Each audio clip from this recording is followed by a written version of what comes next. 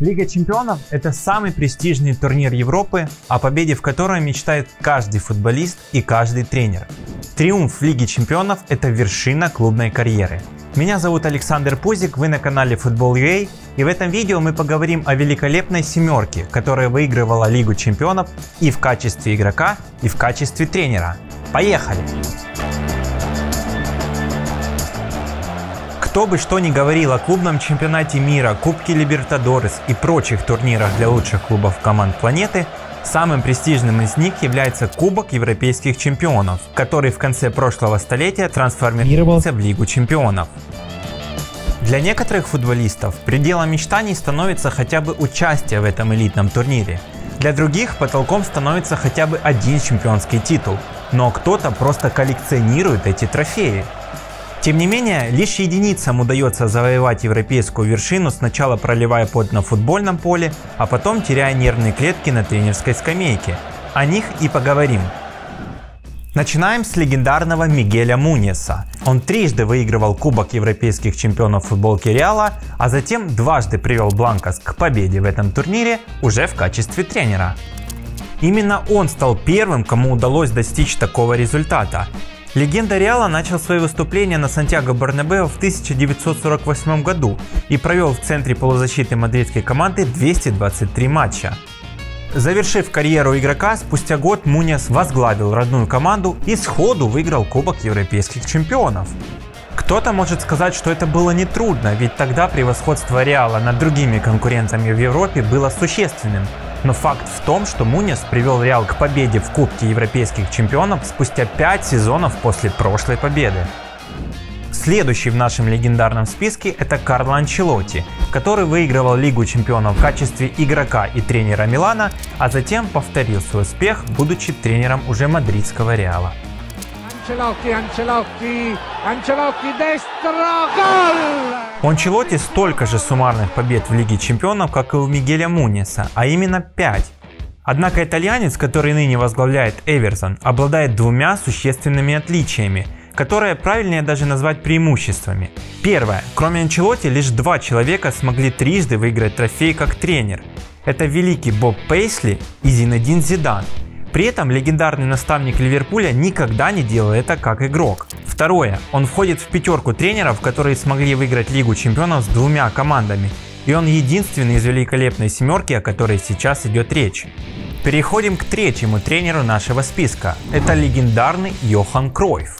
Нидерландец трижды выигрывал Кубок Европейских чемпионов в качестве игрока Аякса, а затем уже в качестве тренера повторил этот успех как тренер каталонской Барселоны. У Йохана Кройфа 4 титула, значит он уступает Мунису и Анчелоти по общему количеству. Однако, если не зацикливаться на элементарной арифметике, то нельзя не отметить, что летучий голландец стал катализатором стремительного взлета Барселоны.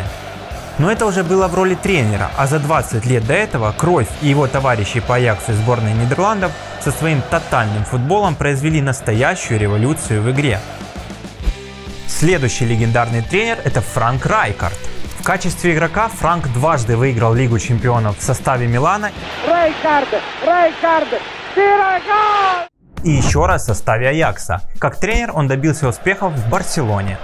Проводя параллели, легко заметить, что Франк Райкард, как и Йохан Кройф, выигрывал трофей Лиги Чемпионов выступая за Аякс, а последнюю победу одержал, находясь у руля Барселоны. Да не обидится Франк, но несмотря на одинаковое количество побед со своим легендарным земляком, он уступает ему практически во всем. И все-таки есть одно заметное преимущество. Как игрок, Райкард сумел добиться успеха в Лиге Чемпионов с двумя разными командами. Джованни Трапатони, который выигрывал Лигу Чемпионов как игрок в составе Милана, а спустя время уже как тренер Ювентуса. Самые юные любители футбола наверняка больше запомнили Джованни Трапатони по тем временам, когда он с 2008 по 2013 годы возглавлял национальную сборную Ирландии. Однако наибольшей славы он добился на клубном уровне.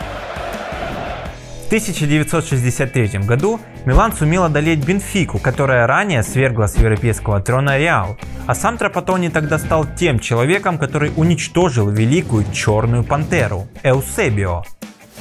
На протяжении всей игры итальянский защитник буквально висел на португальской звезде и не давал ему продохнуть. А без Эусебио Бенфика не была и в половину так же опасна.